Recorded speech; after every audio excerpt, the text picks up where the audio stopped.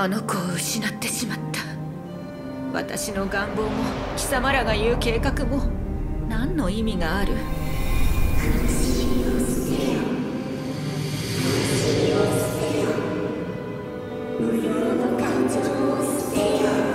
黙りなさい！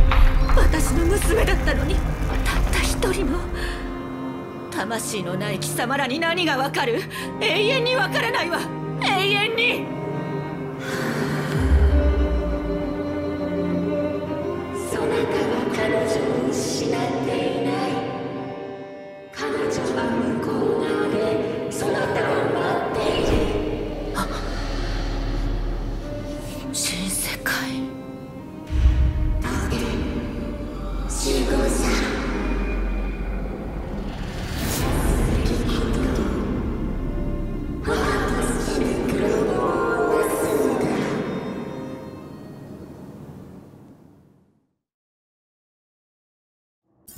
あの声が聞こえる。不気味な夢だ。もう眠れそうにない。散歩にでも行くか。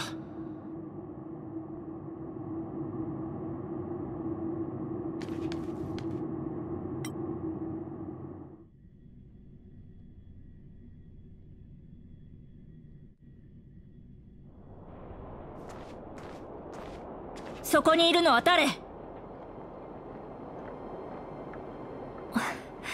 なんだあなただったの。次は後ろから近づかないで。私が武器を持ってたら怪我を負わせていた。あなたも眠れないの？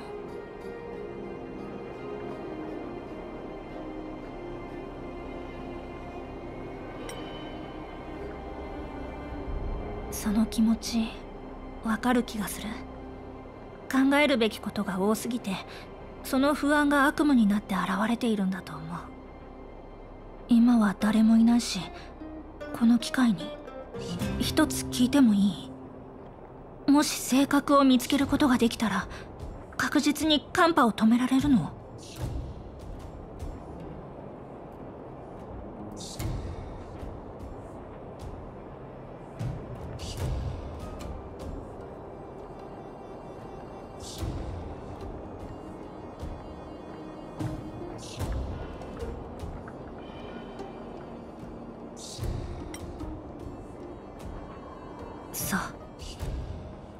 と正直に答えてくれてむしろほっとした。本当はあなたたちの言葉をそう簡単に信じられそうにないの。ベロブルグで生きる人にとってあまりにも想像ができない話だったから。カカリア様の命令こそ。つまりあなたたちを捕らえろという命令こそが私にとって合理的なものだった。でもカカリア様は最初そういった命令を下していなかったのも事実。きっとあなたたちの中に何かを見てしまったんだと思う。私には見えていない何かを。このことが私を悩ませている。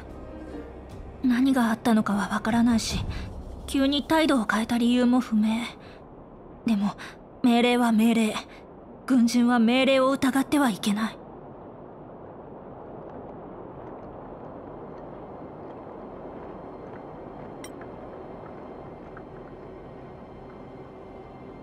解の余地をくれるんだ。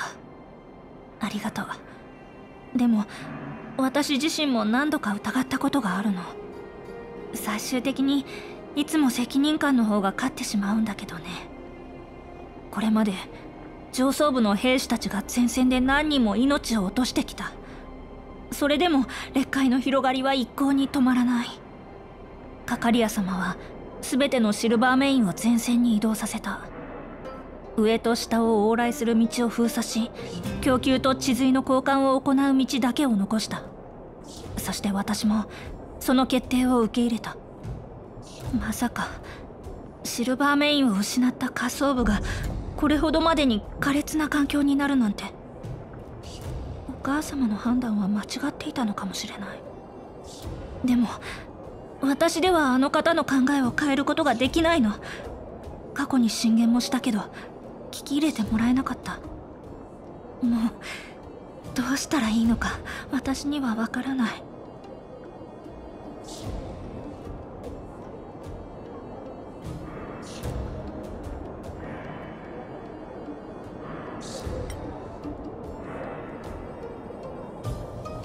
それはダメ。そんな恐れ多いこととんでもない。絶対にあってはならない。考えれば考えるほど迷走してしまう。進むべき道がわからなくなるの。私はただベロブルグの民に良い暮らしを送らせてあげたいだけなのに。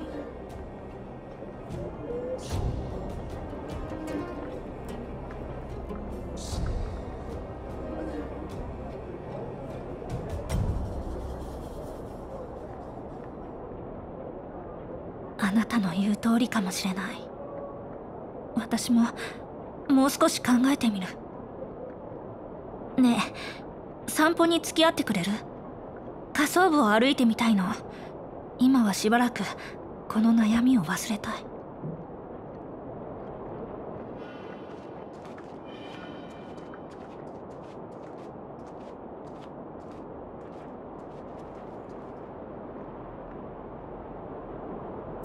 こうやって歩くのはいつぶりだろう。まさか知り合って間もない人と慣れない街を歩くことになるなんて。ここは静かすぎて少し落ち着かない、周りが静かだと頭の中の騒音が大きくなる。大航空の流浪者たちが罪のない採掘者たちを襲ったのもきっとやむを得ず仕方のないことだったんだと思う。ただ理由はどうあれ悪事に手を染めたことは事実、こんな複雑に絡み合った状況の中で秩序を守る者はどう公正と条理の天秤を守れば。手持ちの物資はどれくらい持ちそう？今のはゼーレの声。見に行きましょう。分かった。リベットタウンまで行って物資を取ってくる。でも一人じゃ危ないわ。オレグに行って誰か人をよこしてもらったら？おじさんたちだって何日も寝てないんだし休ませてあげないと。それに無理してついてこられても足手まといになる。あんたも言ったでしょ？ひどい怪我を負った甲府がいるって。今は一刻を争う事態だから。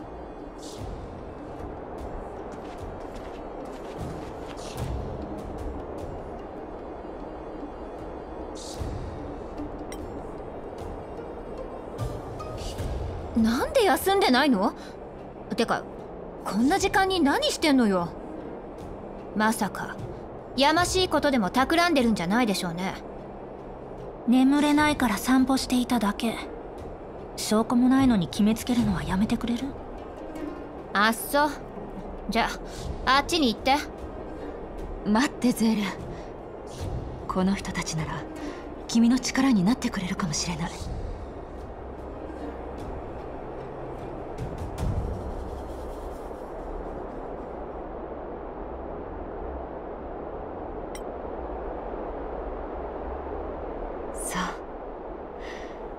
前々から主人公オーラを感じていたのはそれが理由だったのかしらね。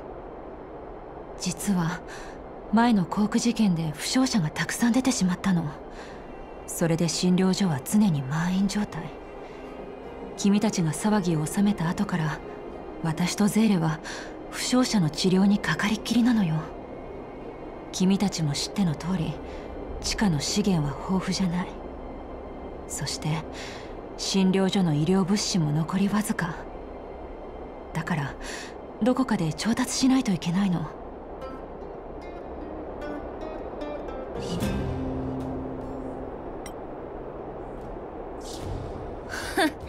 他の町はここより状況が悪いのよ。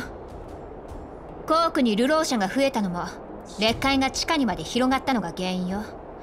あちこちうろついてるモンスターどものせいで。どの町も被害を受けてる。生きるために必要な設備も劣界に飲まれてしまった。その中から何かを取り出そうとすれば命を落とす危険だってあるんだから。興奮しすぎよゼーレ体に良くないわ。私もゼーレもこの町で育ったわけじゃないの。北にある工業の町から来たのよ。今は町の中心部がほぼ劣化に侵食されているわ。もともとはそこで孤児院兼診療所をやっていたんだけど侵食が発生して仕方なくこのボルダータウンにやってきたってわけ。より多くの人を治療するには自分が生きていなきゃいけないでしょ。つまり侵食された町から使えそうな物資を集めればいいってこと？それなら私にも手伝わせて。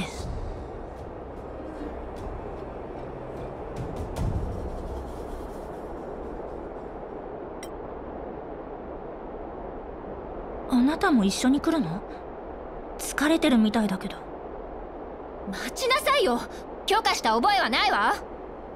人命に関わることなら人手が多いに越したことはないと思うけど私も劣界には入ったことがあるしきっと役に立つと思う。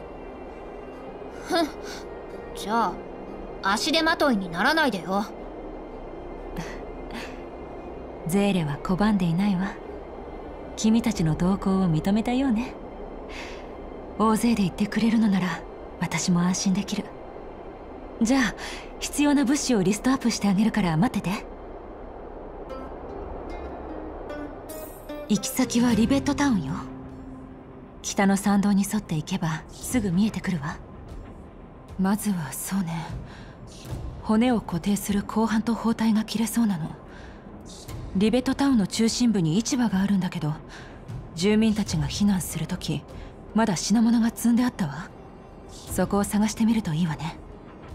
次は医療用アルコール。これは孤児院にたくさんあるわ。子供たちがしょっちゅう喧嘩してたからね。避難する時にそのままにしてきたから探してみて。ただ期限が切れてないといいけど最後は鎮痛剤。古い実験室に在庫があるはずよ。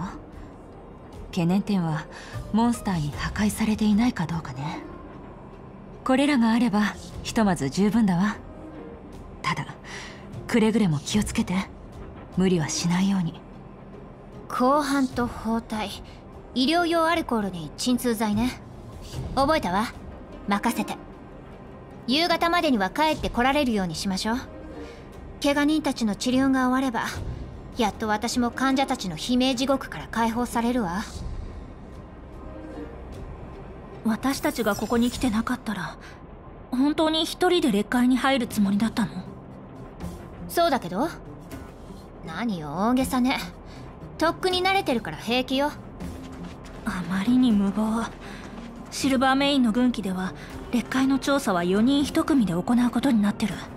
その上専門の通信官を同行させる必要もある。はあ？何言ってるの？今あんたも言ったじゃない。それはシルバーメインの軍機なんでしょ？それを私に押し付けないでちょうだい。あ。りがとう。君たちが来てくれなかったらゼーレは一人で劣界に行くことになってたわ。こういったことを処理するのは初めてじゃないと知っていてもあの子がモンスターと戦うところを想像すると心配でたまらないの。これまであの子の成長を見届けてきたんだもの。この先もずっと無事であってほしいと願うのは当然でしょ。ゼーレは昔から意地っ張りで衝動的で知らない人からすると近寄りがたい子だったわ。でも背中を託せるいい子よ。しばらく付き合えばきっと君たちにもわかるはずだわ。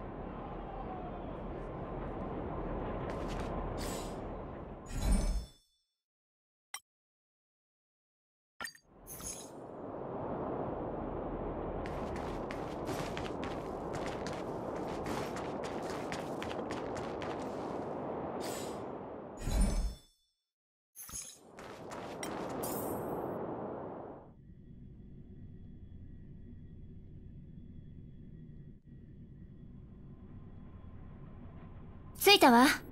ここがリベットタウンよ。懐かしいわね。行きましょう。足元に気をつけて。ここに来るのは久々なの。きっとまたモンスターが増えてると思うわ。ここじゃ何も見えないわね。もっと高いところを探してみましょう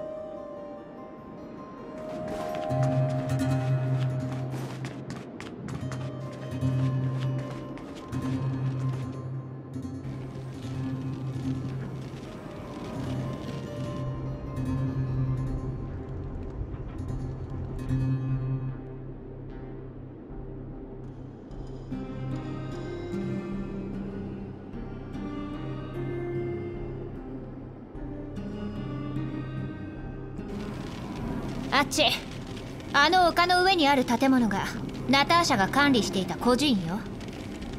オレグさんが私を拾った後あそこに送ったの。幼少期の半分は孤児院で過ごしたわ。ナターシャの話ではどこぞの富豪がお金を出して建てたそうよ。何はともあれきっといい人なんでしょうね。子供の頃は何の心配もなく過ごしてきた。今思い返すと懐かしいわね。どうしたのよ？さっきからずっと黙ってるけど。いえただどこかで見たことあるような気がして。何でもないから気にしないで。変なやつ。下を見て。屋台がごちゃごちゃ並んでるのが見える。あれがリベットタウンの市場よ。ナターシャが求めるものもあそこにあるはずだわ。モンスターに気をつけて進みましょう。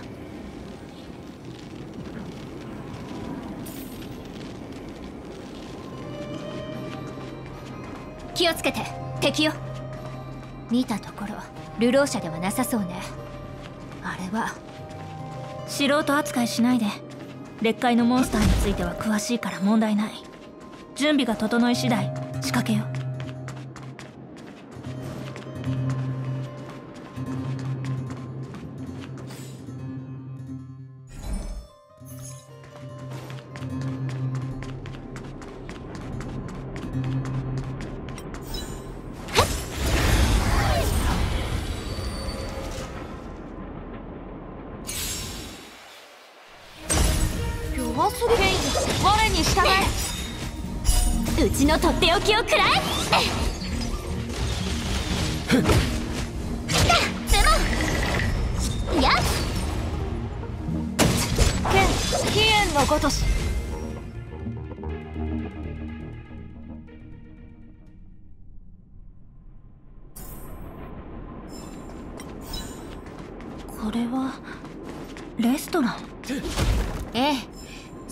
町で一番の人気店だったわ。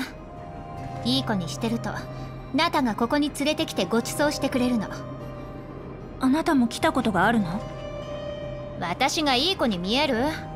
そんなこと一度もなかったわよ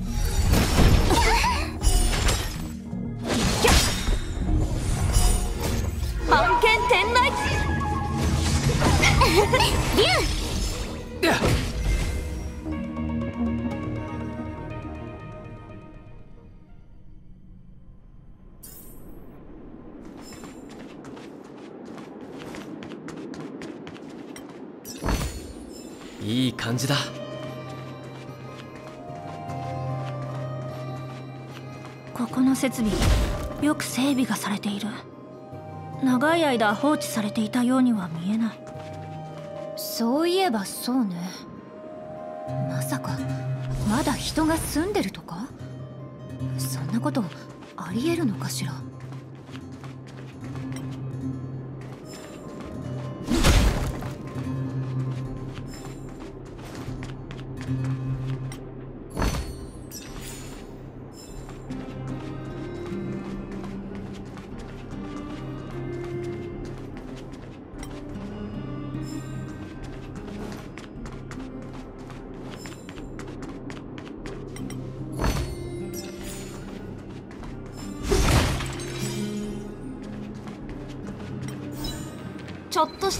した小細工さうんよ。来い。あっちに箱がたくさんあるわね。探している物資かもしれないわ。モンスターに気をつけて。避けられそうにない場合。まずはここ一帯の敵を片付けてから収集した方がいいわ。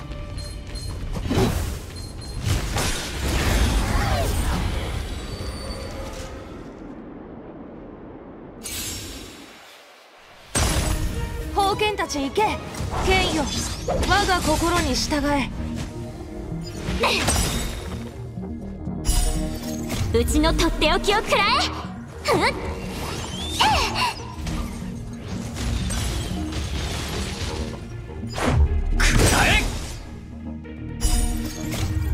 ああ。ルールは破るためにある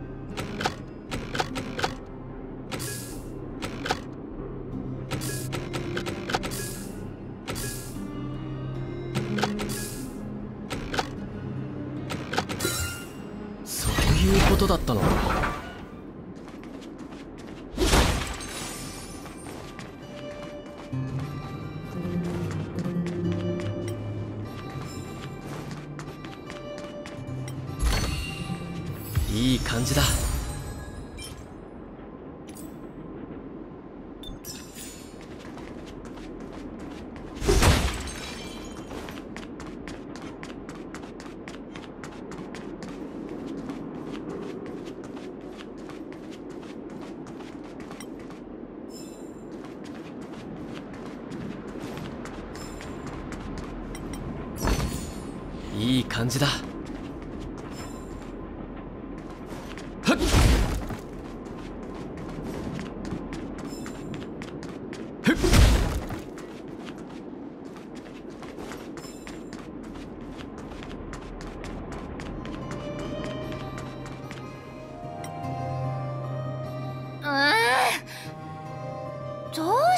空っぽなの？モンスターって箱の中身を物色したりするのかしら？劣界の生き物は人類の物資を必要としない。仮に奪うとしてもこんな丁寧に持っていかないと思う。ってことは誰かに先を越されたってこと？多分そう。それにほら地面に足跡らしきものが残ってる。土の匂いが真新しい。ここを離れたばかりのようね。行くわよ。この市場を丸ごとひっくり返してでも物資を手に入れないと。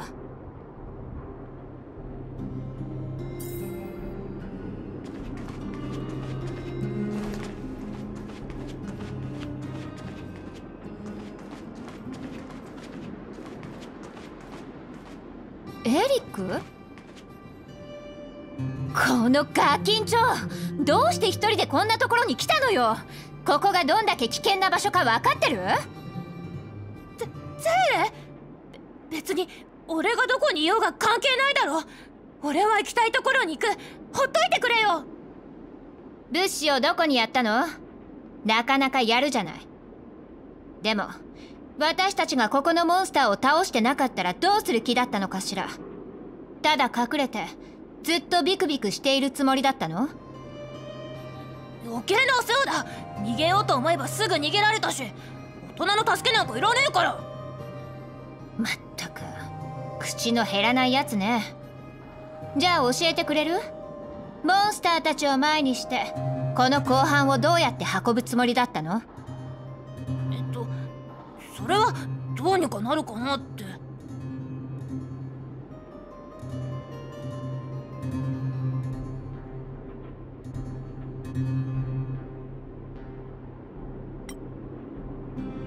騙されてるのよあんたこいつは有名なコソ泥なの。私の記憶が正しければ今着てる服も他のガキから盗んだものよね。それは。言いなさい。公判と包帯で何をするつもりだったの？こっちは人の命がかかってるのよ。200は？200シールド。私の聞き間違いじゃないわよねこの状況で交渉するわけ？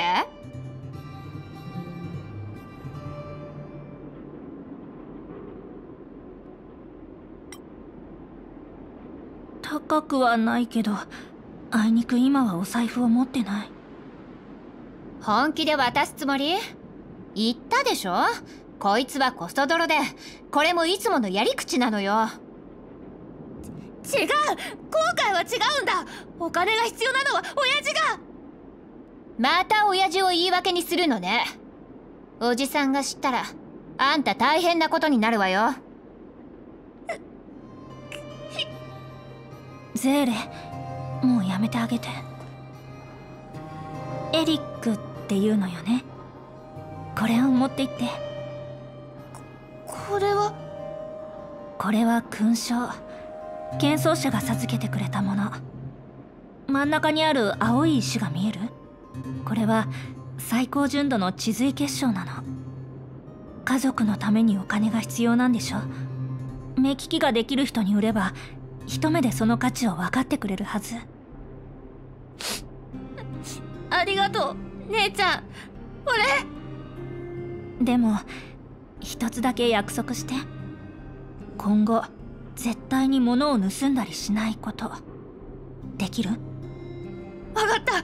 俺絶対もう盗んだりしない。じゃあ指切り。嘘ついたらシルバーメインが捕まえに来るよ。落とさないようしっかり持って町に帰って。途中の邪魔者はお姉ちゃんたちが片付けたから。あありがとう。名前の知らない姉ちゃん。ここにあるもの全部姉ちゃんたちにやるよそのあんたたちも気をつけてな。なんか高いところの建物にすごく恐ろしいやつがいるらしいからさ。あそうだ。一番前の道は塞がれてるんだ。この先に進むなら商店街を迂回した方がいいぜ。分かった。ありがとう。あれ？結構大事なものだったんじゃないの？あんな簡単にエリックにあげちゃって大丈夫？あの子が改心するならあれくらい大したことない。ふん。もし改心しなかったら？幼い頃お母様に教えられたの。人々の心にある善意を守れって。たとえ自分がかすかな光に過ぎなくとも他の人を照らす努力をすべきだと。ゼーレ私はきっかけを与えただけ。他の人があの子に与えられなかったものをね。何を言ってるんだかさっぱりね。ほら行くわよ。エリックが言ってたわよね。この先は商店街を迂回した方がいいって。確かこっちだったはずよ。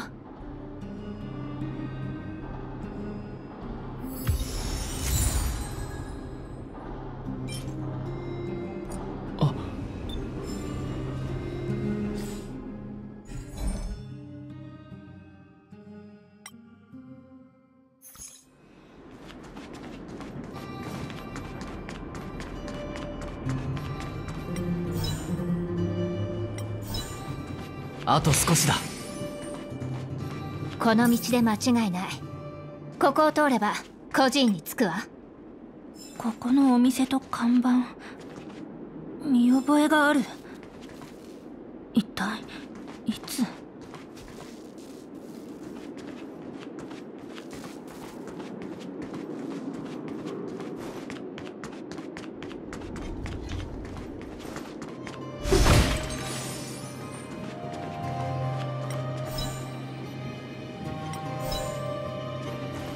と少しだ。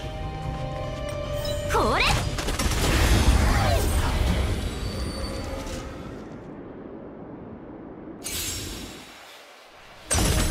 弱すぎるよ。剣飛燕のこと。うちの出番。ルールは破るためにある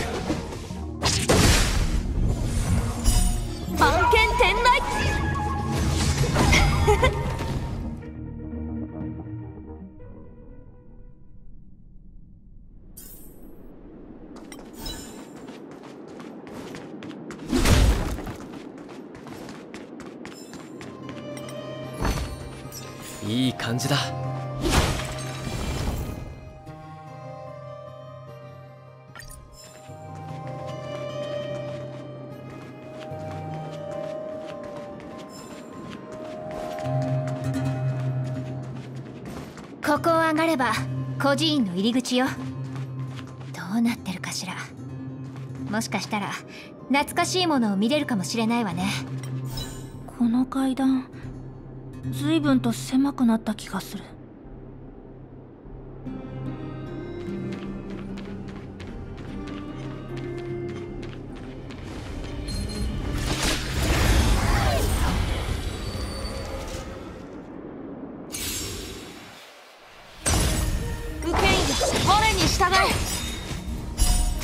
とっておきを食らえ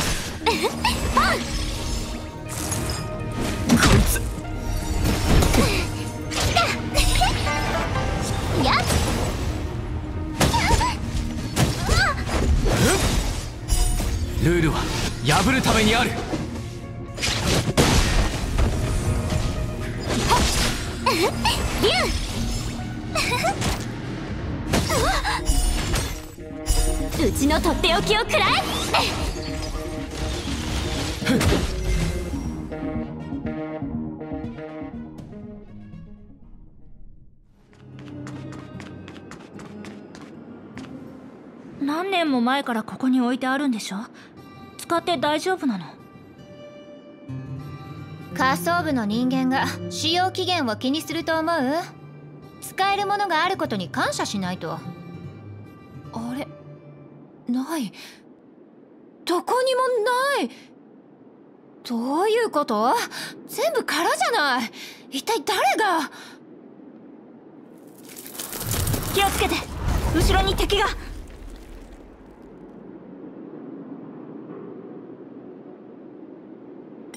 禁止区域でしかこんなの見たことない。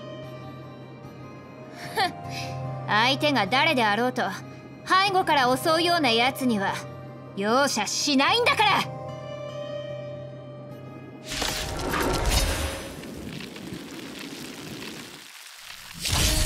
下手に動くな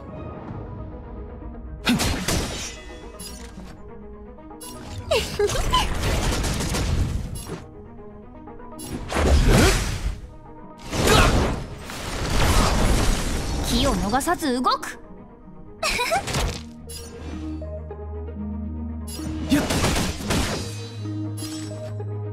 誰かな？この機会を逃すな。ルールは破るためにある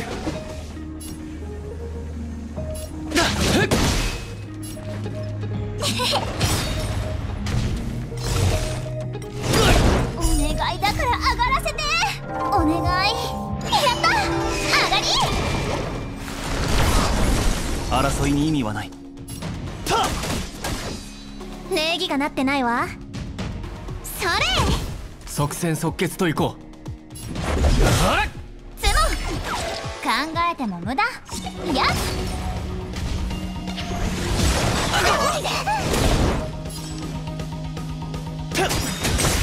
ん？怖くないよ。生死虚実一年。同点剣剣超無一角。はっ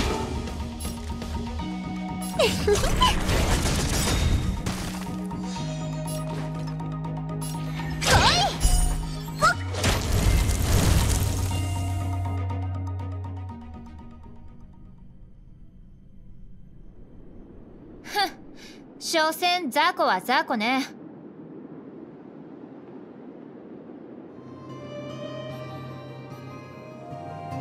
な私一人でもやっつけられたわよ。まあでも一緒に戦えてそれなりに楽しめたわ。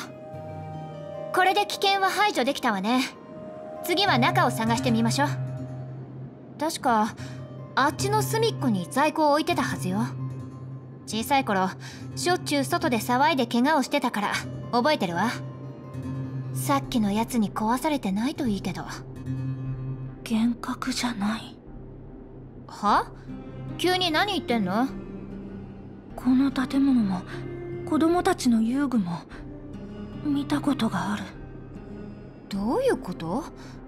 十数年前に封鎖されて以来シルバーメインだって降りてきてないのにあんたみたいなお嬢様がどうして？待ってまさかそれよりも前に。ええその可能性はあるかと。私の記憶があやふやなのもそれが原因なんだと思う。行こう。もう少し周囲を確認させて。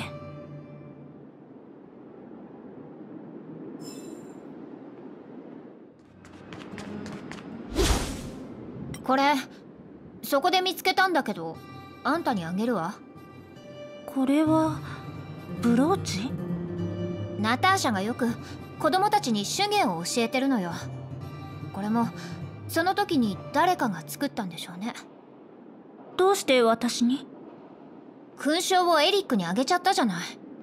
それほど価値があるものじゃないけど代わりにはなるかなって。でも誰かが一生懸命作ったものなんでしょ？勝手に持っていくのは。頭の固いやつね。つべこべ言わず受け取りなさいよ。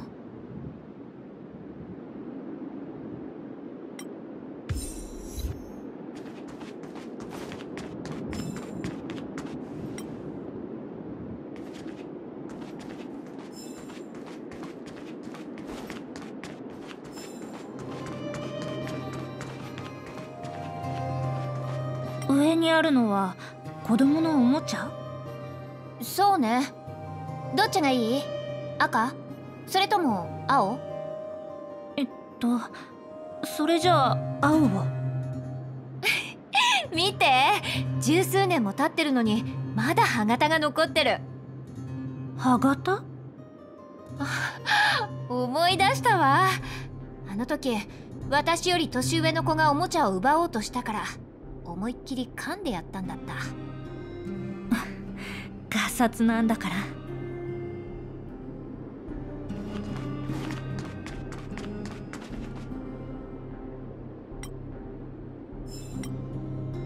探してないのはここだけね。私の記憶が間違ってなければいいけど。えー、っとあこれよ。見つけたわよかった。ほとんど無傷ね。ナタもきっとびっくりするわ。これほどいい状態のものが見つかるなんて。でもアルコールの使用期限はやっぱり確認した方がいいと思う。もし期限が切れてたら効果も落ちるだろうから。それもそうね。えー、っとん？これ何かしら？これは？これは私が小さい頃に持っていたもの。あんたの小さい頃？それって間違いないの？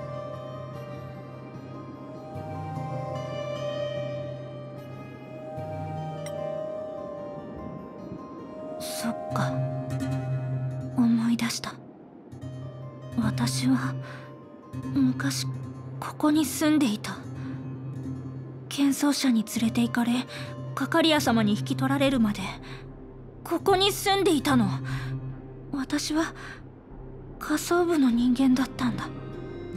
あんたが仮想部の人間？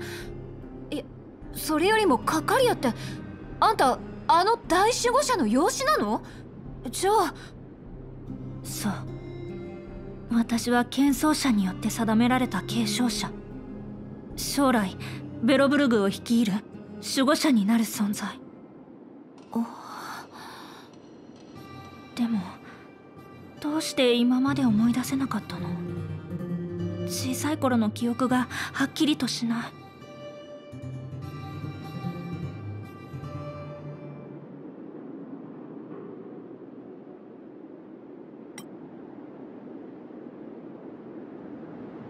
い。いやお母様は決してそんなことをしない。決して。幻想者の話では守護者の継承者は全ベロブルグの中から選定されその過程は数年長くて十数年にも及ぶと聞いた。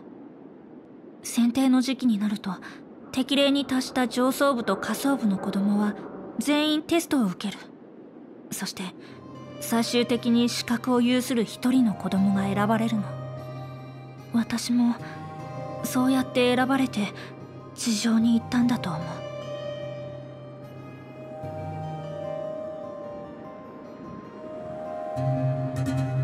孤児院の子供がよく連れて行かれるのは知ってたけどまさか未来の大守護者がその中にいたなんて。ナタはそのことを知ってるの？ずっと私たちを騙してたわけじゃないわよね。知らないと思う守護者の後継者を選定する作業は極秘で行われるものだから。その上選ばれた子供は過去を切り捨てないといけない。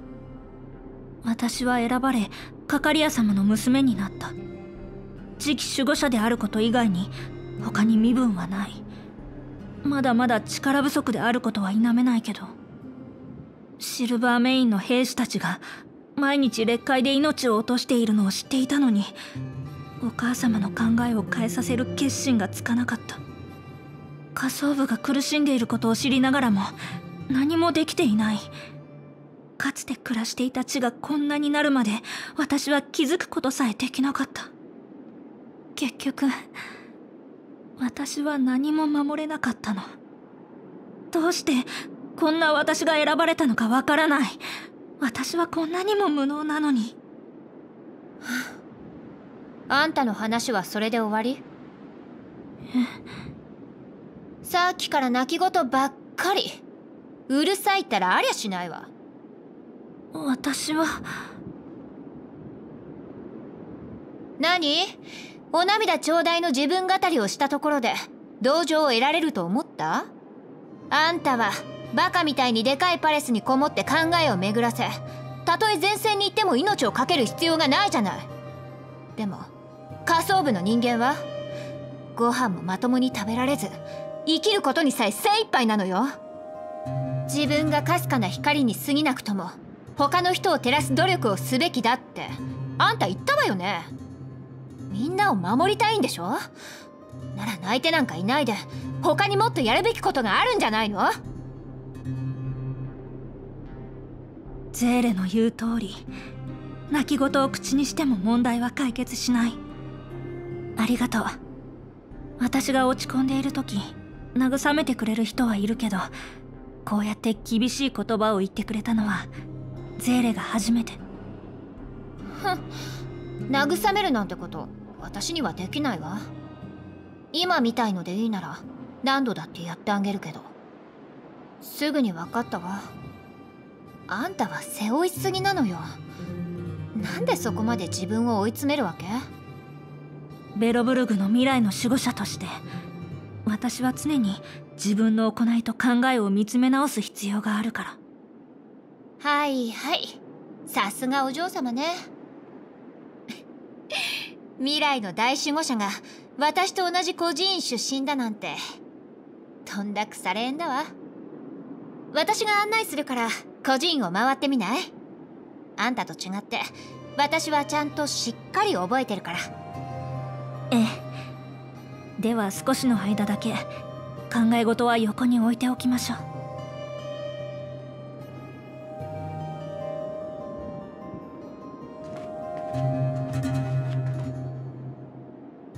入る隙がなさそうだ。しばらく二人きりにさせてあげよう。最後鎮痛剤。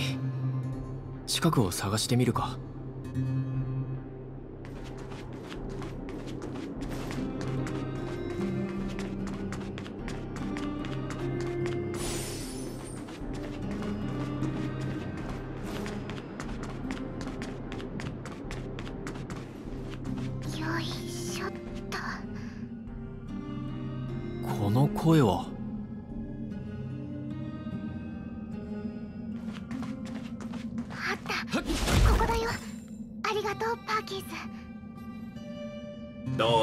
ましてクラーラ。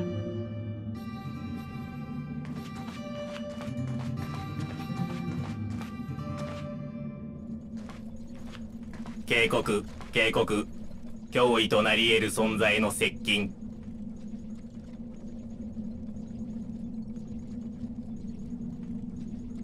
クラーラを守る。防衛モードオン。パーキンスやめて。この人会ったことがある。悪い人じゃない。ですよね。了解。脅威対象から除外します。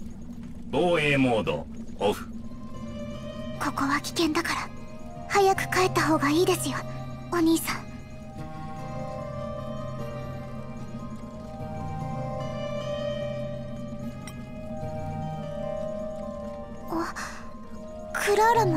も鎮痛剤を探しに来たんです。ルロー社のキャンプで怪我人がたくさん出ています。採掘者の方々もですよね。皆さん仲良く過ごせたらいいのに。はい。この薬をどうぞ。役に立つといいのですが。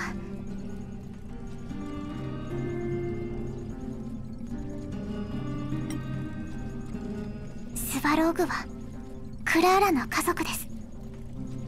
小さい頃にクラーラを引き取り育ててくれて家族になりました。大航空でのことは本当にすみません。スバローグはクラーラ以外の人間を信用していないんです。特に遅延の皆さんを。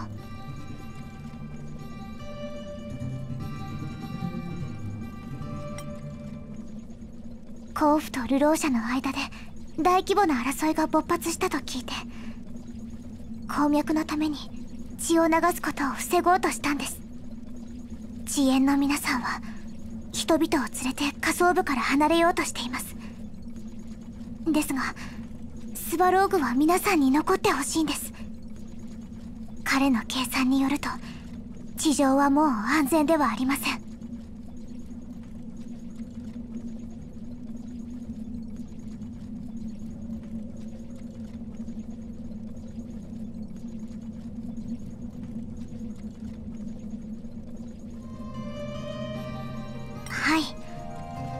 ローグは固執するたちなので自分の責務は孫悟にあると。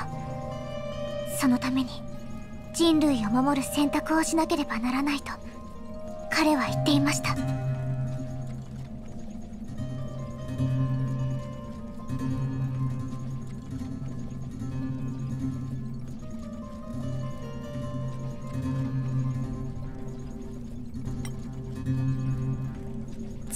皆さんがスバローグと話をしたいのは知っています。でも何回尋ねようとも彼の態度を変えることはできません。ですのでクラーラを信じてください。クラーラが説得してみせます。いつかきっとクラーラの言葉になら耳を傾けて。クラーラ？どうしてここにいるの？あなたは遅延のゼーレお姉さんここに来た理由は？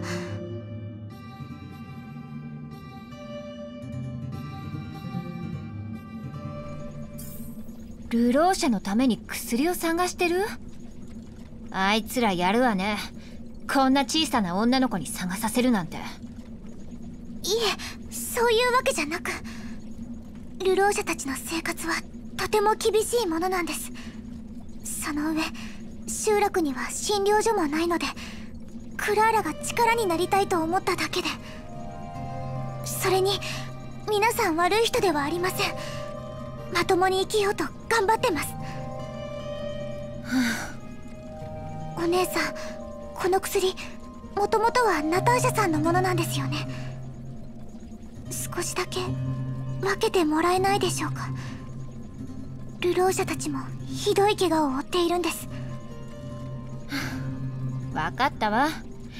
じゃあここにある鎮痛剤を私たちで分けましょう。あ本当？ナターシャさんに聞かなくても大丈夫ですか？ナタのことなら心配いらないわ。きっと気にしないから。まあ私たちの仕事が倍になるけど彼女ならきっと分かってくれるはずよ。本当によかった。ありがとうございます。ゼーレお姉さんあとは帰るだけ？ここは危険だしよければ送っていくけど。大丈夫です。パーキンスがついているので。それに他にも探したいものがあるんです。そう。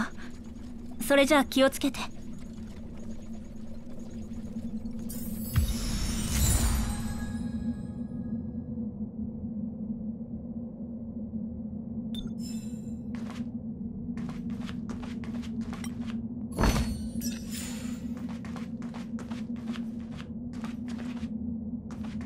後半と包帯医療用アルコール鎮痛剤。よしこれで全部揃ったわね。さ行きましょう。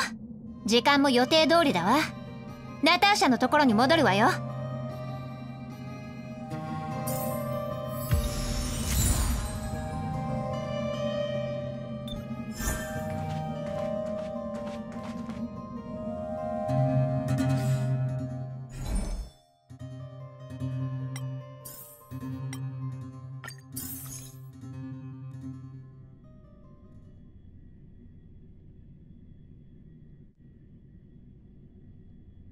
まだ早いしどこかへ行こうか。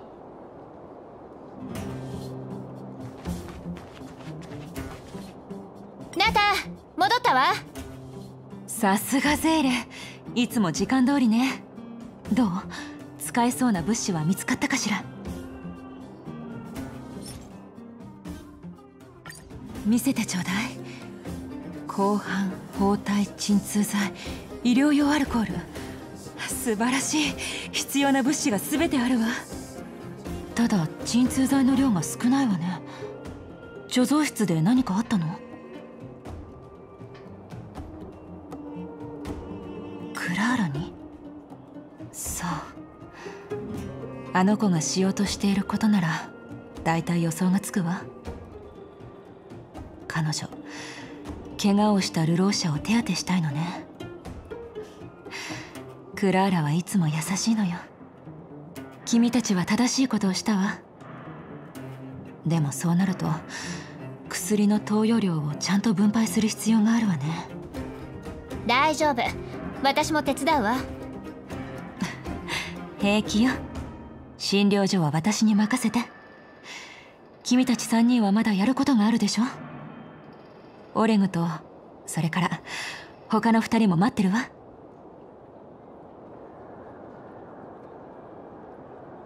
大丈夫じゃないかしら。2人とも元気そうだったわよ。オレグさんはスバローグのことについて話し合いたいのよね。行かないと。ごめんナタ怪我人のことは任せる。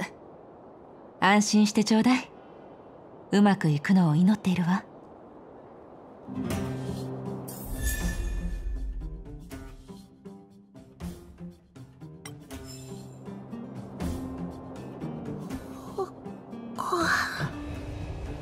何？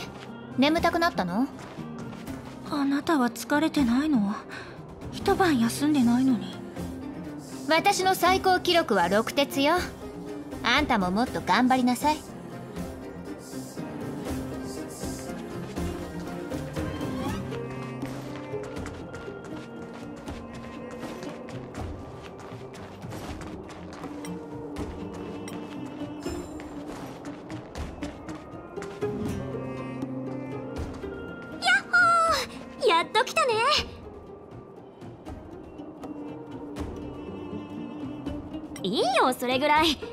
何も言わずにいなくなった回数の記録保持者がここにいるんだから。誇れることじゃないだろう。全員揃ったな。じゃあ本題に入ろう。以前お前たちが言っていた性格。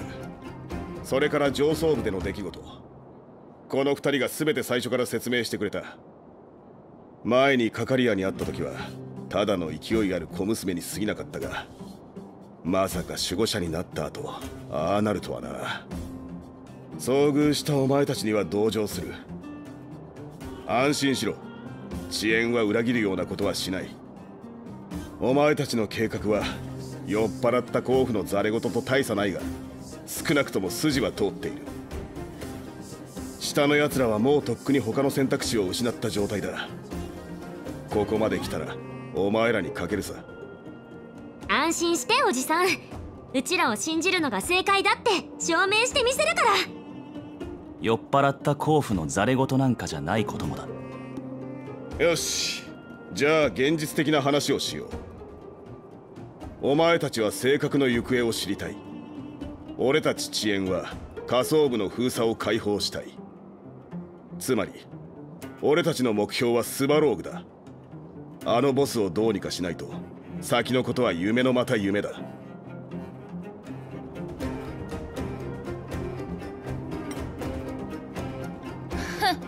あいつはロボットよ。話が通じるとでも。スクラップにしてやるのが一番手っ取り早いわよ。ああどう転ぶかわからん。どちらにも対応できるようにすべきだろう。もちろん平和的に問題を解決するのが一番だが状況が変われば武力行使に移る覚悟も必要だ。遅延はスバローグとの接触を何度も試みてきた。しかし毎回追い返されちまってな。奴は俺たちとの対話を全く望んじゃいない。それに俺たちの実力で奴らと衝突するのはリスクが高すぎる。スバローグのロボットは犠牲を恐れないが俺は下層部の人の命を危険にさらしたくないからな。だが今は違う。お前たちが来たことでスバローグも外部からの変数が現れたことを認め状況が変わってきている。どういう経緯でそうなるかは分からんがもしかしたらお前らになら説得するチャンスが訪れるかもしれん。ああそれが一番いいだろう。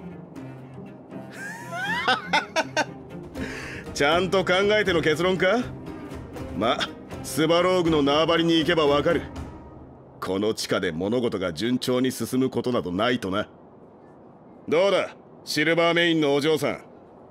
俺たちの中でスバローグと対立する理由がないのはお前だけだ。お前の考えを聞かせてくれないか。下層部もベロブルグの一部だから。もしスバローグがここの住民を脅かす存在ならあなたたちの味方をするのも当然。いい答えださすが守護者の責務を引き継ぐ娘。いい覚悟をしている。よし。共同戦線を張れたのならこれ以上時間を浪費する必要もない。行け。スバローグを探しに行くためのガイドを手配してある。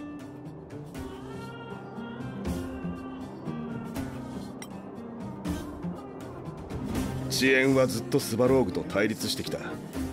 共に行っても誤解を生むだけだろう。少し離れたところで待機し万が一の際にはすぐ駆けつけるようにする。ゼーレもう一度外から来た友人たちと同行してくれるか。任せてちょうだいボス。